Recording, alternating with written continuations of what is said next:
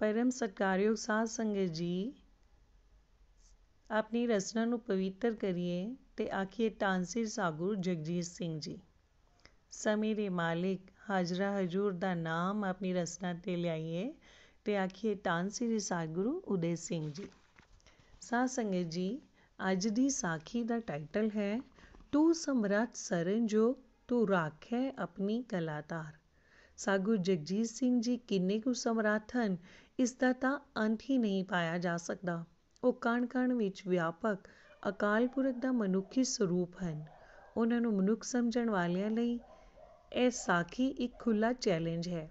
ਇੱਕ ਪੂਰਨ ਸੰਤ ਜਵਾਰ ਸਿੰਘ ਜੀ ਮਿਰਜੇ ਵਾਲੇ, ਜਿਹੜੇ ਖੂਹ ਦੀ ਮਾਨ ਤੇ ਬੈਠ ਕੇ ਸਿਮਰਨ ਕਰਦੇ ਸਨ ਅਤੇ ਜਿਨ੍ਹਾਂ ਨੇ ਨਿੰਦਰ ਨੂੰ ਵਾਸ ਕੀਤਾ ਹੋਇਆ ਸੀ, ਉਹਨਾਂ ਦੇ ਪੋਤਰੇ ਅਤੇ ਸੰਤ ਚਿਰਮਲ ਸਿੰਘ ਦੇ ਪੁੱਤਰ ਦੁਬਈ ਰਹਿਣ ਵਾਲੇ ਸੰਤ ਹਰਵਿੰਦਰ ਸਿੰਘ ਜੀ ਆਪਣੇ ਨਾਲ ਬੀਤੀ ਇੱਕ ਸਾਖੀ ਇਸ ਤਰ੍ਹਾਂ ਦੱਸਦੇ ਹਨ, ਚੰਡੀਗੜ੍ਹ ਦੇ ਇੱਕ ਬੰਦੇ ਕਿਸ਼ਨ ਲਾਲ ਨੇ ਦੁਬਈ ਵਿੱਚ ਟਰਾਲੇ ਬਣਾਉਣ ਵਾਲੀ ਇੱਕ ਟਰਾਂਸਪੋਰਟ ਕੰਪਨੀ ਖੋਲ੍ਹੀ।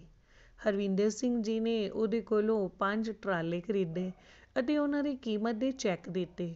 ਉਹਨਾਂ ਨੇ ਗਲਤੀ ਇਹ ਕੀਤੀ ਕਿ ਪਹਿਲਾਂ ਦਿੱਤੇ ਚੈੱਕ ਵਾਪਸ ਲੈਣ ਤੋਂ ਬਿਨਾਂ ਹੀ ਸਾਰੀ ਇਕੱਠੀ ਰਕਮ ਦਾ ਇੱਕ ਚੈੱਕ ਹੋਰ ਦੇ ਦਿੱਤਾ। ਉਹਨਾਂ ਨੇ ਇਸ ਕਰਕੇ ਸਾਰੀ ਰਕਮ ਦਾ ਹੋਰ ਚੈੱਕ ਦਿੱਤਾ ਤਾਂ ਕਿ ਜੇਕਰ ਪਹਿਲੇ ਚੈੱਕ ਕੈਸ਼ ਨਾ ਹੋਣ ਤਾਂ ਇਹ ਵੱਡਾ ਚੈੱਕ ਕੈਸ਼ ਕਰਾ ਲਵੇ। ਉਹ ਆਦਮੀ ਬੇਈਮਾਨ ਨਿਕਲਿਆ। ਉਸਨੇ ਪਹਿਲੇ ਵਾਲੇ ਚੈੱਕ ਵੀ ਕੈਸ਼ ਕਰਵਾ ਲਏ ਅਤੇ ਇਕੱਠੀ ਰਕਮ ਵਾਲਾ ਚੈੱਕ ਵੀ ਕੈਸ਼ ਕਰਾਉਣ ਦੀ ਕੋਸ਼ਿਸ਼ ਕੀਤੀ, ਪਰ ਬੈਂਕ ਵਿੱਚ ਰਕਮ ਦਾ ਨਾ ਹੋਣ ਕਰਕੇ ਚੈੱਕ ਬਾਉਂਸ ਹੋ ਗਿਆ। ਇਸ ਕਰਕੇ ਉਸ ਨੇ ਹਰਵਿੰਦਰ ਸਿੰਘ ਜੀ ਤੇ ਕੇਸ ਕਰ ਦਿੱਤਾ। ਹਰਵਿੰਦਰ ਸਿੰਘ ਜੀ ਨੂੰ ਇਸ ਕੇਸ ਵਿੱਚ 6 ਮਹੀਨੇ ਦੀ ਜੇਲ੍ਹ ਦੀ ਸਜ਼ਾ ਹੋ ਗਈ, ਜਿਹੜੀ ਕਿ ਵੱਧ ਕੇ 3 ਸਾਲ ਹੋ ਜਾਣੀ ਸੀ। ਉਸ ਦਿਨ 20 ਜਨਵਰੀ ਸਨ 2010 ਦਾ ਦਿਨ ਸੀ। ਉਹ ਤੇ ਬਿਲਕੁਲ ਬੇਕਸੂਰ ਸਨ। ਉਹ ਸਾਗੂ ਜਗਜੀਤ ਸਿੰਘ ਜੀ ਦੇ ਚਰਨਾਂ ਵਿੱਚ ਅਰਜ ਕਰਿਆ ਕਰਨ ਕਿ ਇਹ ਸਾਗੁਰ ਜੀ, ਕਿਰਪਾ ਕਰੋ। ਉਧਰ ਉਹਨਾਂ ਦੇ ਘਰ ਵਾਲਿਆਂ ਕੋਲ ਖਾਣ ਜੋਗਾ ਵੀ ਕੁਝ ਨਹੀਂ ਰਿਹਾ। ਇੱਕ ਘਰ ਵਾਲੀ ਦੋ ਬੇਟੀਆਂ ਤੇ ਇੱਕ 4 ਸਾਲ ਦਾ ਛੋਟਾ ਜਿਹਾ ਬੇਟਾ ਲੱਗੇ ਭੁੱਖੇ ਮਰਨ। ਇੱਕ ਦਿਨ ਤਾਂ ਇੱਥੋਂ ਤੱਕ ਹੋ ਗਿਆ ਕਿ ਚੌਂਕੇ ਵਿੱਚ ਸਿਰਫ ਇੱਕੋ ਹੀ ਰੋਟੀ ਬਣੀ। ਖਾਣ ਵਾਲੇ ਚਾਰ ਜਣੇ ਸਨ।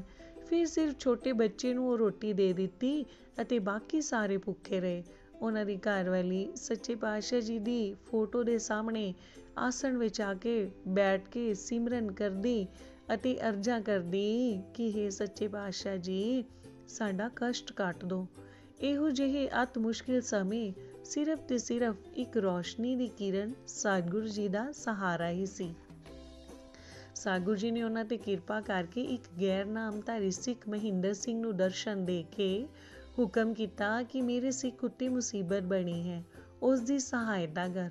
ਉਹ ਬੜਾ ਹੈਰਾਨ ਹੋਇਆ ਕਿ ਇਹ ਦਰਸ਼ਨ ਦੇ ਕੇ ਹੁਕਮ ਕਰਨ ਵਾਲਾ ਕੌਣ ਹੈ। ਉਸ ਨੂੰ ਸਮਝ ਹੀ ਨਾ ਆਵੇ ਕਿ ਮੈਂ ਕਿਸ ਦੀ ਸਹਾਇਤਾ ਕਰਾਂ।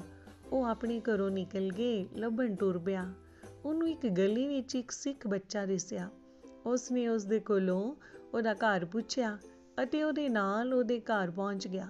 ਅੱਗੇ ਬੱਚੇ ਦੀ ਮਾਂ ਰਾਜਵਿੰਦਰ ਕੌਰ ਸਾਗੁਰ ਜੀ ਦੀ ਫੋਟੋ ਦੇ ਅੱਗੇ ਆਸਣ ਵਿੱਚ ਆ ਕੇ ਸਿਮਰਨ ਕਰ ਰਹੀ ਸੀ। ਉਹ ਫੋਟੋ ਵੇਖ ਕੇ ਬੜਾ ਹੈਰਾਨ ਹੋਇਆ ਕਿ ਮੈਨੂੰ ਦਰਸ਼ਨ ਦੇਣ ਵਾਲੇ ਤਾਂ ਇਹ ਹੀ ਸਨ। ਉਸਨੇ ਰਾਜਵਿੰਦਰ ਨੂੰ ਪੁੱਛਿਆ ਕਿ ਤੁਹਾਡੇ ਉੱਤੇ ਕਿਹੜੀ ਮੁਸੀਬਤ ਬਣੀ ਹੈ? ਰਾਜਵਿੰਦਰ ਨੇ ਸੋਚਿਆ ਕਿ ਪਤਾ ਨਹੀਂ ਇਹ ਪੁੱਛਣ ਵਾਲਾ ਕੌਣ ਹੈ। ਉਸਨੇ ਕੁਝ ਨਾ ਦੱਸਿਆ। ਅਗਲੇ ਦਿਨ ਉਹ ਬੰਦਾ ਆਪਣੀ ਘਰਵਾਲੀ ਨੂੰ ਨਾਲ ਲੈ ਕੇ ਫੇਰ ਆ ਗਿਆ। ਅਤੇ ਫਿਰ ਪੁੱਛਿਆ ਕਿ ਤੁਹਾਡੇ ਉੱਤੇ ਕੀ ਮੁਸੀਬਤ ਆਈ ਹੈ? ਤੁਸੀਂ ਮੇਰੇ ਬੱਚਿਆਂ ਵਰਗੇ ਹੋ, ਮੈਨੂੰ ਦੱਸੋ। ਮੈਨੂੰ ਤਾਂ ਇੱਕ ਫੋਟੋ ਵਾਲੇ ਮਹਾਂਪੁਰਸ਼ਾਂ ਨੇ ਦਰਸ਼ਨ ਦੇ ਕੇ ਹੁਕਮ ਕੀਤਾ ਹੈ ਕਿ ਮੈਂ ਤੁਹਾਡੀ ਸਹਾਇਤਾ ਕਰਾਂ। ਰਾਜਵਿੰਦਰ ਨੂੰ ਜਦੋਂ ਪੂਰਾ ਵਿਸ਼ਵਾਸ ਹੋ ਗਿਆ ਕਿ ਆਦਮੀ ਠੀਕ ਹੈ, ਤਾਂ ਉਸਨੇ ਆਪਣੀ ਸਾਰੀ ਵਿਥਿਆ ਦੱਸ ਦਿੱਤੀ। ਉਹ ਬੰਦਾ ਕਹਿਣ ਲੱਗਾ ਕਿ ਫਿਕਰ ਨਾ ਕਰੋ, ਮੈਂ ਤੁਹਾਡੀ ਮਦਦ ਕਰਾਂਗਾ। ਉਸਨੇ ਬਾਜ਼ਾਰੋਂ ਕਿੰਨਾ ਰਾਸ਼ਨ ਅਤੇ ਲੋੜ ਦੀਆਂ ਹੋਰ ਵਸਤੂਆਂ ਲਿਆ ਕੇ ਉਹਨਾਂ ਨੂੰ ਦੇ ਦਿੱਤੀਆਂ। ਇਸ ਤੋਂ ਬਾਅਦ ਮਹਿੰਦਰ ਸਿੰਘ ਕਿਸ਼ਨ ਲਾਲ ਕੋਲ ਪਹੁੰਚਿਆ ਅਤੇ ਉਸ ਨੂੰ ਬੜੀਆਂ ਧਮਕੀਆਂ ਦਿੱਤੀਆਂ ਕਿ ਤੂੰ ਬੇਈਮਾਨ ਹੈ, ਤੇਰੀ ਧੀ ਬਾਹਰ ਨਿਕਲੀ ਤਾਂ ਮੈਂ ਉਹਨੂੰ ਛੱਡਾਂਗਾ ਨਹੀਂ। ਕਿਸ਼ਨ ਲਾਲ ਡਰ ਗਿਆ। ਉਹਨੇ ਸਾਰਾ ਕੁਝ ਲਿਖ ਕੇ ਦੇ ਦਿੱਤਾ ਕਿ ਮੈਂ ਹਰਵਿੰਦਰ ਸਿੰਘ ਕੋਲੋਂ ਕੁਝ ਨਹੀਂ ਲੈਣਾ। ਇਸ ਤੋਂ ਬਾਅਦ ਮਹਿੰਦਰ ਸਿੰਘ ਕੋਰਟ ਵਿੱਚ ਪਹੁੰਚਿਆ ਅਤੇ ਕੋਸ਼ਿਸ਼ ਕਰਕੇ ਰਵਿੰਦਰ ਸਿੰਘ ਦੀ ਕੈਦ ਤੋਂ ਮੁਕਤੀ ਕਰਾਈ। ਹਰਵਿੰਦਰ ਸਿੰਘ ਜੀ ਦੱਸਦੇ ਹਨ ਕਿ ਉਹਨਾਂ ਉੱਤੇ ਛੇ ਕੇਸ ਹੋਰ ਸਨ, ਜਿਨ੍ਹਾਂ ਵਿੱਚੋਂ ਇੱਕ ਕੇਸ ਵਾਸਤੇ ਉਹਨਾਂ ਨੂੰ ਇੱਕ ਹਜ਼ਾਰ ਜੁਰਮਾਨਾ ਭਰਨਾ ਪਿਆ।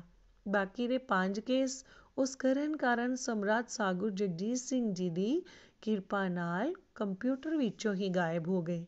ਹਰਵਿੰਦਰ ਸਿੰਘ ਜੀ ਨੇ ਬਾਹਰ ਆ ਕੇ ਸੀਆਈਡੀ ਵਾਲਿਆਂ ਕੋਲੋਂ ਪੁੱਛਿਆ ਕਿ ਮੇਰੇ ਉੱਤੇ ਕੋਈ ਹੋਰ ਕੇਸ ਤਾਂ ਨਹੀਂ? ਉਹ ਕਹਿਣ ਲੱਗੇ ਕਿ ਕੋਈ ਕੇਸ ਨਹੀਂ, ਤੁਸੀਂ ਜਾਓ। ਉਹ ਦੱਸਦੇ ਹਨ ਕਿ ਸੱਚੇ ਪਾਤਸ਼ਾਹ ਜੀ ਨੇ 10 ਅਪ੍ਰੈਲ ਨੂੰ ਮਹਿੰਦਰ ਸਿੰਘ ਨੂੰ ਦਰਸ਼ਨ ਦੇ ਕੇ ਹੁਕਮ ਕੀਤਾ ਅਤੇ ਉਸੇ ਦਿਨ ਮੈਨੂੰ ਜੇਲ੍ਹ ਵਿੱਚ ਦਰਸ਼ਨ ਦੇ ਕੇ ਹੁਕਮ ਕੀਤਾ ਕਿ ਤੂੰ 18 ਤਰੀਕ ਨੂੰ ਬਾਹਰ ਆ ਜਾਵੇਂਗਾ।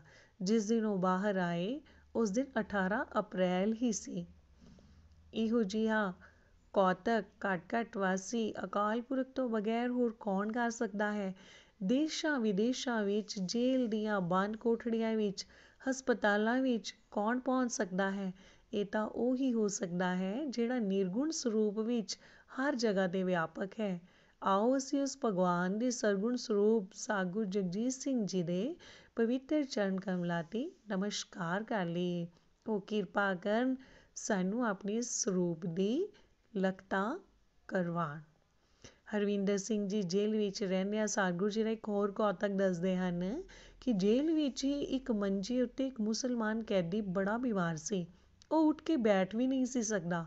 ਡਾਕਟਰ ਨੇ ਉਹਨੂੰ ਜਵਾਬ ਦੇ ਦਿੱਤਾ ਸੀ, ਕੁੱਲ ਲੋਕਾਈ ਦੇ ਸਾਂਝੇ ਘੱਟ ਘੱਟ ਵਾਸੀ ਦਇਆ ਦੇ ਸਮੁੰਦਰ, ਸ਼੍ਰੀ ਸਾਗੁਰ ਜਗਜੀਤ ਸਿੰਘ ਜੀ ਨੇ ਹਰਵਿੰਦਰ ਸਿੰਘ ਜੀ ਨੂੰ ਦਰਸ਼ਨ ਦੇ ਕੇ ਹੁਕਮ ਕੀਤਾ, ਇਸ ਮੁਸਲਮਾਨ ਦੇ ਸਰੀਰ ਉੱਤੇ ਹੱਥ ਫੇਰਦਿਆਂ ਭਗੌਤੀ ਦੀ ਮਾਲਾ ਦਾ ਇੱਕ ਮਣਕਾ ਕਰ, ਇਹ ਠੀਕ ਹੋ ਜਾਵੇਗਾ। ਹਰਵਿੰਦਰ ਸਿੰਘ ਜੀ ਨੇ ਇਸ ਤਰ੍ਹਾਂ ਹੀ ਕੀਤਾ। ਉਹ ਮੁਸਲਮਾਨ ਉੱਠ ਕੇ ਬੈਠ ਗਿਆ ਅਤੇ ਕਹਿਣ ਲੱਗਾ ਕਿ ਮੈਂ 75% ਠੀਕ ਹੋ ਗਿਆ ਹਾਂ। ਉਹ ਕੁਝ ਪੈਸੇ ਦੇਣਾ ਚਾਹੇ, ਪਰ ਹਰਵਿੰਦਰ ਸਿੰਘ ਜੀ ਨਾ ਲੈਣ।